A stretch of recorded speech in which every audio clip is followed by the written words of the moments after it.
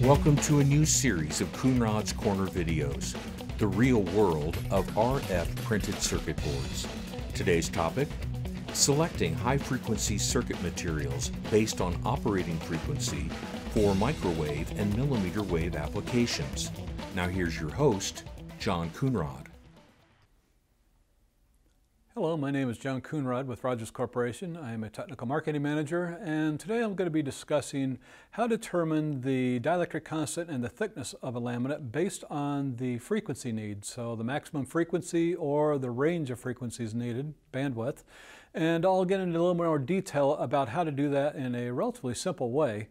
So this is a pretty big topic too, and I am only going to be able to give you a highlight of it here. But I would invite you to join our Rogers Technology Support Hub, and there you can search on this topic and related subjects and get a lot more information. So with that, let's go ahead and get started. So what I'm planning on doing is give you a pretty simple method to uh, determine the thickness and dielectric constant of a laminate based on the frequency, maximum frequency, or the range of frequencies, the bandwidth that's needed for your application. Now, there's several different ways of going about that, and uh, I'm going to take kind of a simple method, and then uh, also around that, I'm going to show you how you can do things in circuit design that will actually uh, give you a little bit more breathing room, you might say, to uh, go beyond the limits and maybe use a laminate that's a little thicker for a higher frequency and different things like that.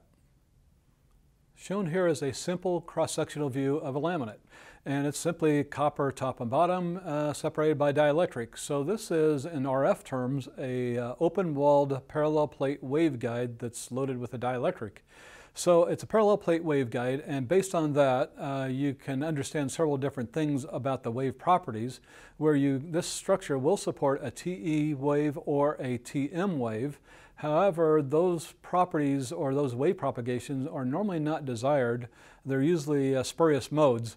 However, sometimes they are needed on a, a, particular design, but it's more common that the TEM wave is desired or quasi-TEM wave. And with that in mind, uh, there's several things to, uh, to think about here.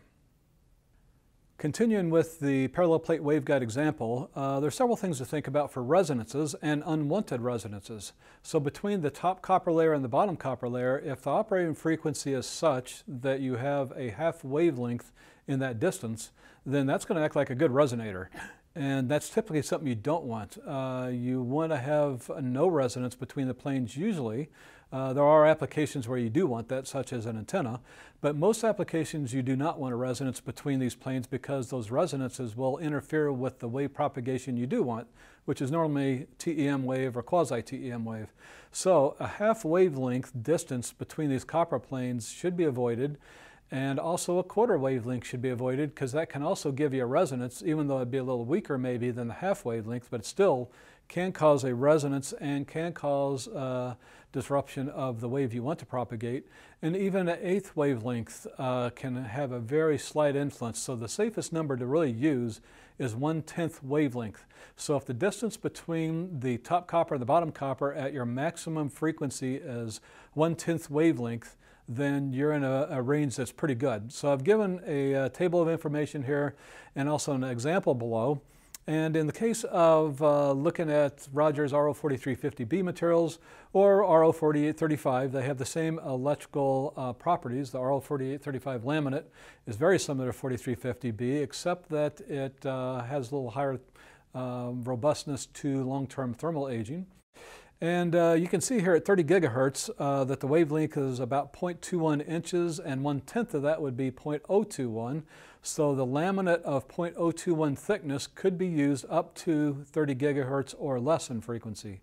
Now also um, you can think about uh, the dielectric constant as well. So when you do a wavelength calculation, a simple one for this parallel plate waveguide, you need to know the, the frequency as well as the dielectric constant. So that's included there. The dielectric constant and the frequency will help you understand the proper thickness for the material for the maximum frequency that you're wanting to operate at.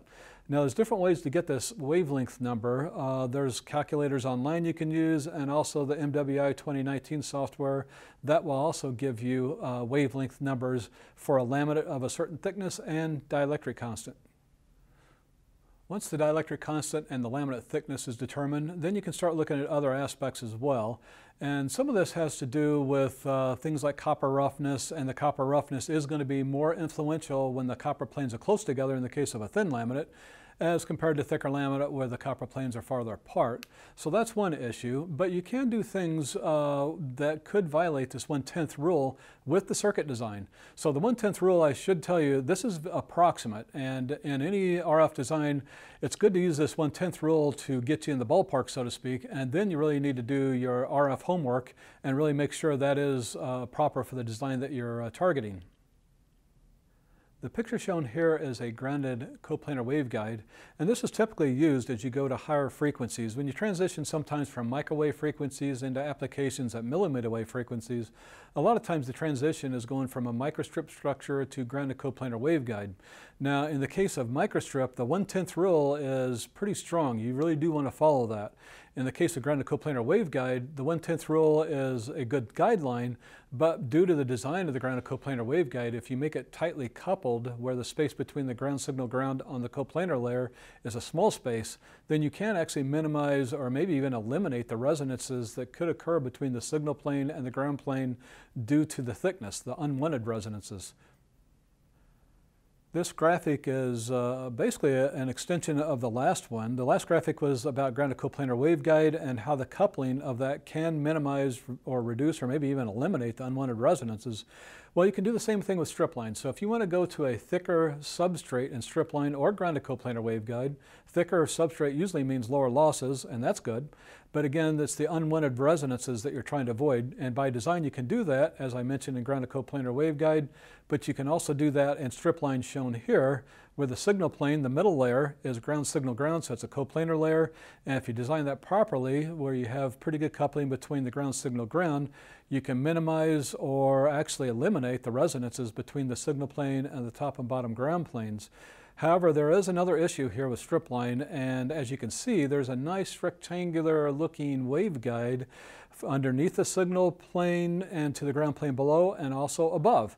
So this can act as a waveguide and a lot of times these waveguide modes, or most times, these are unwanted for a strip line structure and uh, that's another thing to be concerned with.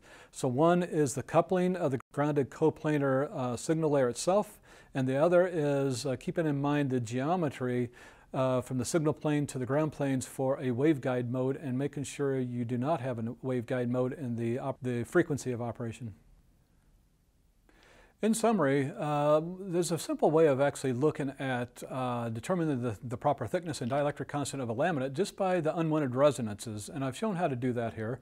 It's pretty easy actually, and uh, you can figure out the wavelength uh, online. There's calculators, MWI 2019. That's got the, uh, the capability to also give you the wavelength.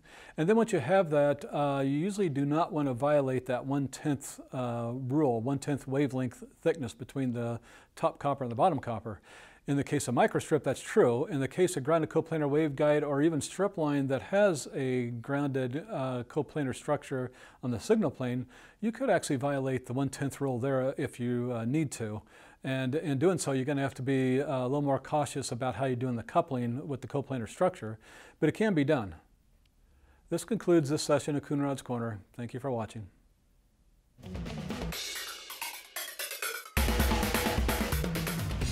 For additional information and technical tools, if you're not already a member, join the Rogers Technical Support Hub and gain access to calculators, technical papers, and more Rogers Corporation informational videos. Rogers Technical Information is also available at your fingertips with the Rog mobile app, available for the iPhone, iPad, and Android devices. Check it out today.